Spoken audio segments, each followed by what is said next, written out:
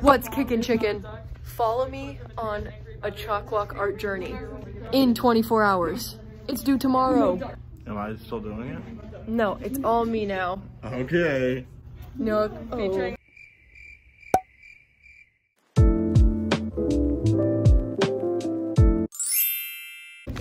I'm gonna put my hair up before I start and then grab a pencil. Tatum's also gonna do it and she's really nervous. Uh, Exciting. It's a big piece of paper, guys. This class is going great so far today. A little bit nervous, a little bit nervous for us.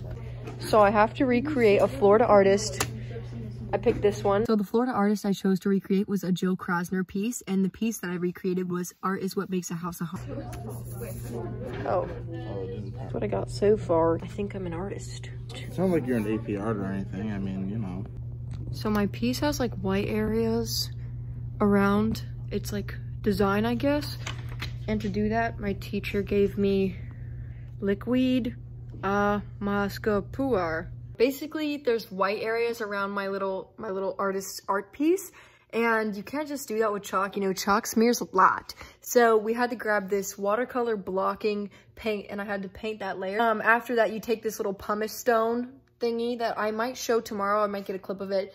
It's like, it's a square, basically. And then you can rub it all off once you're done. So that's what I'm doing in the next clips. And I'm just outlining all the lines in this green stuff. And then I'm gonna resume the chalk. Like I started the chalk and then I was like, oh wait,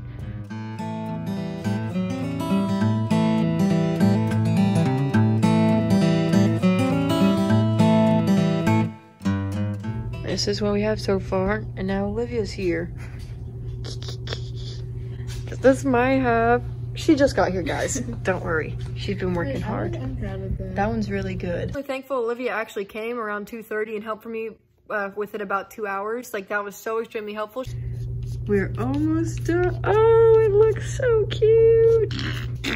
So what I don't show is like the passage of time. It took a long time to finish everything. It was exhausting. My mental state, out the window. Adding finishing touches.